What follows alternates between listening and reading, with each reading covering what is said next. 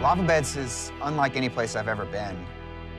I don't know anywhere that has the layers that this park does. It's like being on another planet. The volcanic formations are really striking. They're really obvious when you drive into the park. You see cinder cones and spatter cones and lava flows.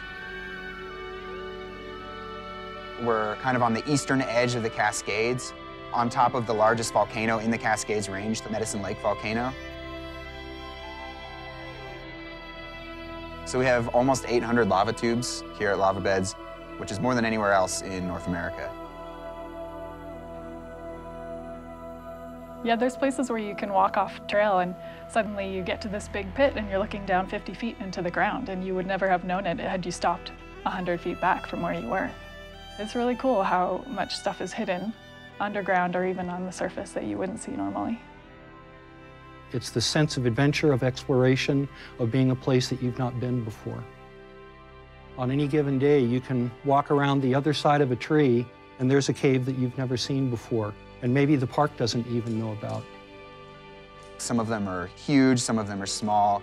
Some of them have lots of breakdowns, so the original passage isn't there anymore, and there's lots of big boulders on the floor. Some of them have almost no breakdown, so the original passage is intact, which means that you can see all the flow patterns in the floor and the walls and the ceiling. Some caves create microclimates where it almost looks like you're on the coast in a much wetter area because there are ferns and even Pacific tree frogs live in them.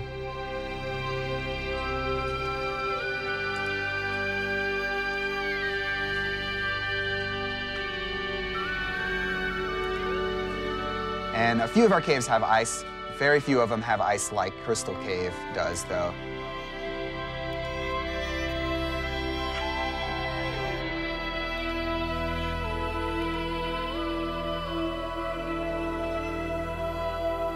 In lava beds, out of 800 some odd caves, there are about 20 that have regular depositions of ice in them just the nature of the entrance and the multi-level aspect of this cave allows cold air to sink in and get trapped. I would never expect Crystal Ice Cave to be in a place like this. You know, you walk down into a trench and find a hole through the rocks, and then it opens up and you see huge ice formations and it's really cold. Who would ever think that existed below a hot, dry landscape.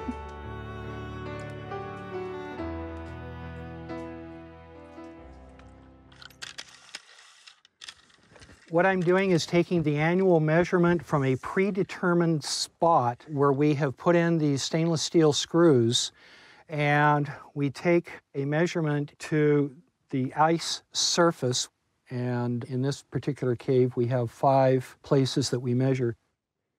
We've seen migration of ice down through the caves to where the upper levels no longer have this, the year-round ice that we see here.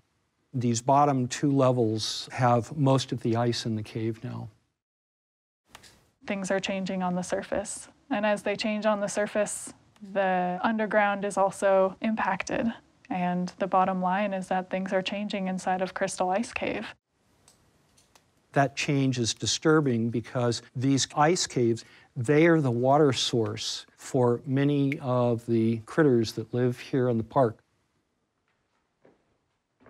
It's a desert, so there's no water on the surface, and wildlife depend on those in-cave water sources that melt in the summertime as a source of water when it gets really hot and dry.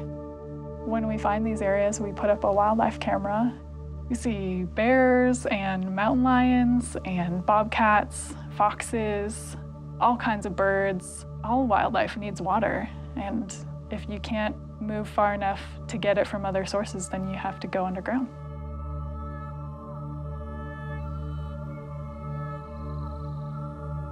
In addition to wildlife, the water found inside of caves was also used by Native Americans, looking for a source of water in the dry landscape.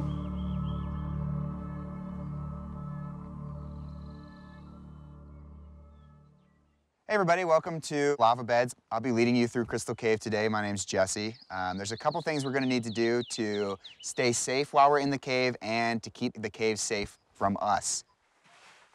Lots of features in the cave are pretty fragile. The ice is pretty sensitive, and there's also thousands of year old cave features that will never regrow if they're damaged. So be extra cautious when we're walking through the cave. In the past, tours used to be a lot larger. Sometimes 40 people would be in here at the same time. And we noticed huge temperature spikes during those tours. And we also noticed that the ice was beginning to melt. Visitors impact the cave by raising the temperature. Their body heat at 98 degrees is much warmer than the cave temperature around 32 degrees. And so when you bring in a bunch of heat to the cave, your radiant body heat heats up the passage, which means you're heating up the ice and allowing it to melt. If it's six people or fewer, the hope is that we won't increase that temperature so much. And that's why the tour is so limited now, is because even though the ice is already starting to melt from the upper levels, we want to slow that process down as much as we can by limiting those tours. So most of our visitors won't get the chance to see Crystal Ice Cave, but there's so many other opportunities for exploration here. There are dozens of caves for people to visit at lava beds.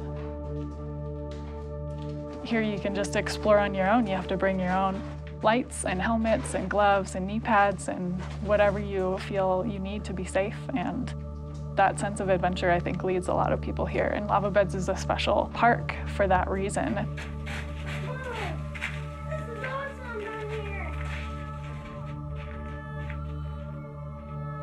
One of the most frequent comments I hear at the visitor center is, well, we'll have to start planning our return trip because we just didn't see enough. And a lot of times people are surprised by just how much Lava Beds has to offer.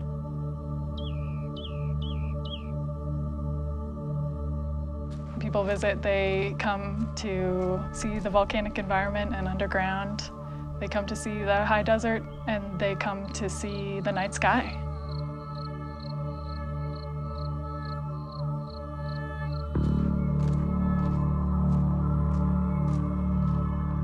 So I think the people that come here are interested in a new place to explore.